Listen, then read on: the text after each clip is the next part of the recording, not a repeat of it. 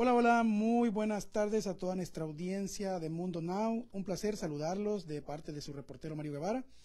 Aquí el fin de semana espero que hayan tenido pues, unos días muy buenos, aprovechados en familia, los que descansaron y los que nos tocó trabajar igual.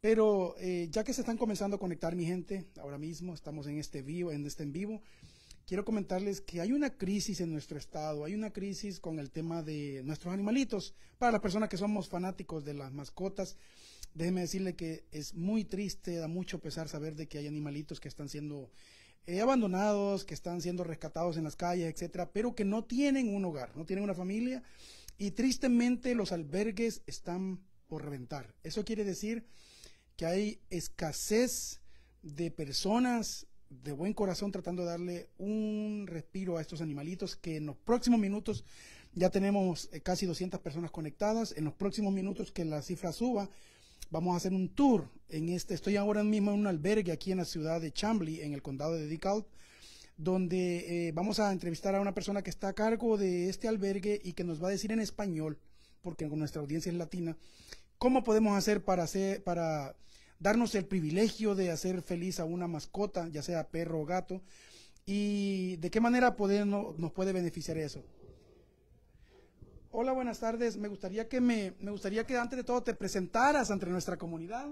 Hola, ¿qué tal? Me llamo Dinia Sabaña y trabajo aquí con Lifeline. Em, ¿Cuántos animalitos tienen ustedes ahora en este albergue y, y qué tipo de, de, de animales pues, son en estos momentos? En este momento tenemos como 800 perros nada más en nuestro sistema, uh, pero aquí en el albergue tenemos como 500 perros. Es increíble no saber de que son animales, eh, en su mayoría, animales eh, tan nobles que, que, están ansiosos por un hogar. Ustedes que todos los días están lidiando con esta situación, imagino, ustedes se van con el corazón partido, saber de que otro día más ustedes regresan a casa, pero aquí hay animalitos que no tienen ese privilegio. Sí, desafortunadamente hay mucha gente de que abandonan a sus, animales porque ya no pueden cuidar de ellos o los encontramos en las calles y este lugar, bueno, sí cuidamos de ellos, pero you know, desafortunadamente no es un lugar para que ellos se queden por mucho tiempo, ellos se estresan mucho, hay mucho ruido y o sea, terminan o su carácter termina siendo mal o sea, vienen con un buen carácter y después como que si vienen muy, muy asustados o, o, se ponen un poquito agresivos y por eso necesitamos que la gente venga y bueno, los tengan y los tomen uh, y los lleven a sus casas. Uh, no tiene que ser permanente tampoco, puede ser temporal para que ellos puedan respirar. Claro, y podemos caminar y ver por ahí cómo, cómo, dónde los tienen. Yo sé que ustedes están haciendo lo mejor posible por, por darles un, un, trato y un cuidado a estos animalitos que lo mejor posible, pero hasta cierto punto tienen las manos atadas, están limitados también. O sea, por más que quieran darles un hogar, ustedes no pueden hacerlo, son demasiados. Podemos pasar a verlos para que nuestra comunidad sepa lo que ustedes tienen, las opciones y que, y que bueno, mi gente, síganse, sigan conectados a este live. Vamos a, darnos una vuelta en un tour por el shelter del condado de DeKalb uno de los shelters del condado de Dical, son varios, y pues vamos a pasar a ver los animalitos que tienen en este momento. Miren qué bonitas las instalaciones, muy llamativo. Tenemos tres diferentes secciones, tenemos unas secciones A, B y C.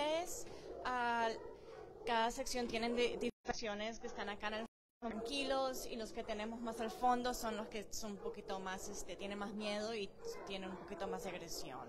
Ok, perfecto. Entonces son tres secciones, cada persona va a decidir. Eh, podemos echar, mira, aquí están los más grandecitos, ¿verdad? Sí, sí, es tenemos. una parejita. Sí. Entonces yo creo de que, bueno, todo depende. A veces este, tienen que ir juntos porque están como que, como se dice, bonded.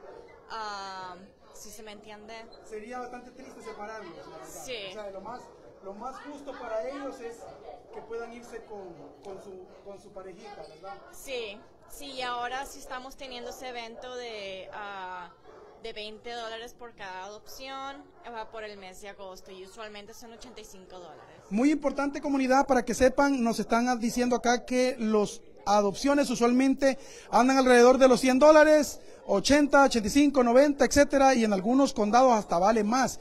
Pero aquí en este, en este lugar por 20 dólares todo el mes de agosto. Apenas estamos a 8. Estamos hablando de que tenemos un mes entero por delante para poder venir por 20 dólares exactos, ¿verdad? 20 dolaritos cerrados y se llevan a estas mascotas tan nobles. Vamos a seguir con este tour. Mira qué, qué bonitos. Ay, mira, ansiosos, ansiosos de tener un hogar. Qué triste. Qué triste. Animalitos tan nobles, ansiosos de tener un hogar. Eh, sin duda alguna, míralos. Eh, el tamaño es grande, pero el, y el corazón de igual manera. Y muchas personas suelen tenerles miedo porque los ven grandes, pero al final de cuentas estos animalitos con un cuidado y con un cariño de familia, estos animalitos pueden tornarse parte, parte fundamental de la misma familia. Y míralo, míralo, mírala, esa hembrita. Qué triste, la verdad. Mi gente, todos los que están viviendo acá, más de 300 personas conectadas, los que viven en el Georgia, condado de Dical, dense una pasadita, por favor, vean los animalitos, a lo mejor no se van con las manos vacías, a lo mejor ustedes salen eh, con una gran sonrisa y dándole un hogar a un animalito como estos. Eh, esto es apenas, apenas comenzamos, mira, apenas comenzamos.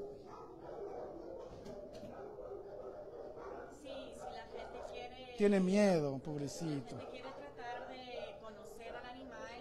Que ser una adopción permanente, siempre puede llevar el animal a la casa a ver cómo, cómo, cómo reacciona, si se lleva bien con sus niños o con sus otros perritos. Y bueno, y si no funciona siempre los puede regresar y tratar otro animalito más tranquilo, pero o sea, nada de verdad tiene que ser permanente con nosotros. Tienen esa oportunidad de que básicamente pueden probarlos, si congenian con la familia, etcétera